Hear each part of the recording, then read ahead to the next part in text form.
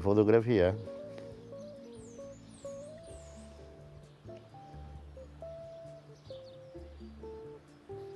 la fotografia per me è vedere te stesso con gli occhi di un altro.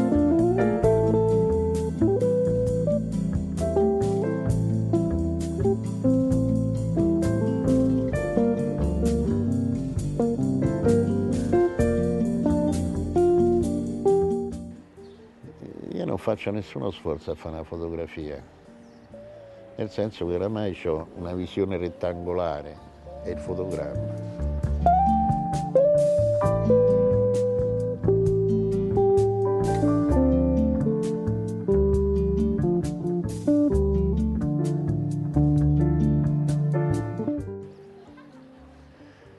Quello che è difficile è fare certe cose che ti trasmettono molto.